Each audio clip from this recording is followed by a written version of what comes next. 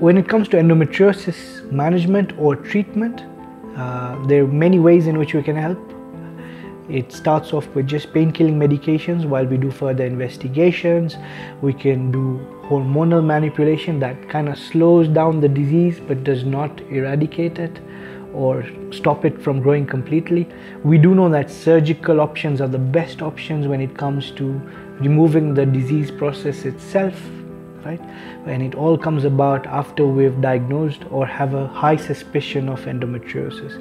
We usually investigate using ultrasound or other radiological means such as an MRI Unfortunately, we do not have a vaccine for the endometriosis. There are so many things, but when it comes to endometriosis, if you find that you have significant pain during your menses, especially if it started a long time ago, please do not hesitate to get checked. Don't wait for you to fail in getting pregnant or get delays in pregnancy before you go to the doctor to get diagnosed.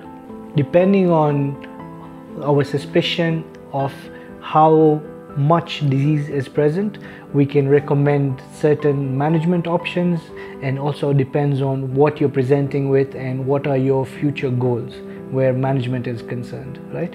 Uh, we have a team at the MP Shah Hospital that deals with endometriosis. Please do come and see us. If you have any questions, queries or comments, we would love to help you.